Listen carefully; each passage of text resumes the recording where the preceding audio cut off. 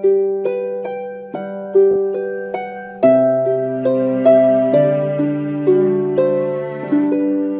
Optimis Yelken Milli Takımının antrenörüyüm.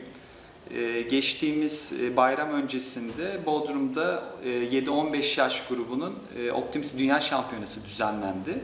E, Çok popüler ve e, zor bir sınıfın yarışı bu. Yaklaşık e, 282 sporcu, 62 ülke katıldı bu şampiyonaya. Ee, ve e, önümüzdeki yıllarda e, ülkelerinin olimpik sınıfında elit sporcularını temsil edecek e, bu yaş grubundaki e, çocuklar yarıştı orada. E, ve biz burada e, kızlar kategorisinde dünya şampiyonu olduk. Tabii bu gurur verici bir şey. E, bu sınıfta tarihimizde ilk defa altın madalya aldık. Ee, hani bunun ayrı bir gururunu yaşadık.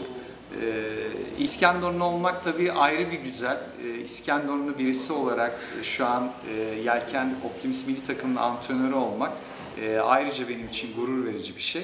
Yelken İskenderun'da aslında popüler bir sınıf. Ee, hani 1970'ten beri de e, devam eden bir spor. Kök, köklü bir e, branş İskenderun için. Buradan e, sayısız milli sporcular da çıktı. E, Yaklaşık 10 yıl kadar ben zaten İskender Yelken Kulübü'nün antrenörlüğünü yaptım e, profesyonel olarak. Onun öncesinde de yaklaşık bir 20-25 yıldır da, e, 20-25 yıl kadar da e, orada e, milli sporcu olarak e, birçok yarışa katıldım, milli oldum. E, Türkiye şampiyonalarına girdim, milli takımla yarışlara gittim. Tabii şu an milli takım antrenörü olarak, e, İskenderunlu birisi olarak e, orada e, şehrimi de temsil etmenin gururunu yaşıyorum açıkçası. Yelkene ilgi çok fazla. Özellikle pandemiden sonra daha da arttı. Çünkü yelken e, bireysel bir spor aslında. Hani e, takım olarak birbirine yardım etsen de denize çıkana kadar denizde tamamen bir tekneyle bir çocuk, bir yetişkin tamamen tek başına denizde özgür bir şekilde icra ettiği bir spor yelken. İlgi de e, gayet iyi. İskenderun'da da gayet iyi. Şu an e, hali hazırda İskenderun Yelken Kulübü'nde işte e, yaz kursları devam etmekte.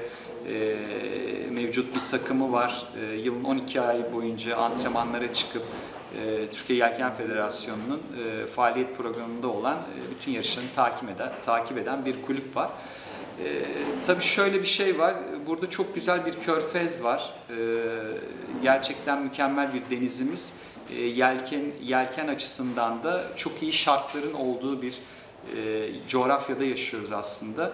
E, bu çok önemli. E, hani e, bu daha fazla kulübün olması İskenderun'da e, işte e, başka kulüplerin açılması, onları teşvik edilmesi çok önemli. Çünkü e, coğrafya olarak güzel bir bölgedeyiz.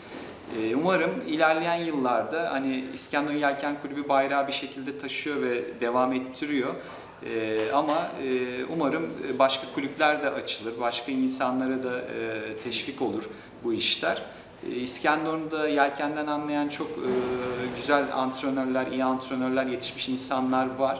E, bu işi başka bir başka bir boyuta da e, taşıyabiliriz. Yani burada e, benim gönlümde yatan mesela her sene burada bir ulusal yarış olabilir. Uluslararası müsabaka alabiliriz.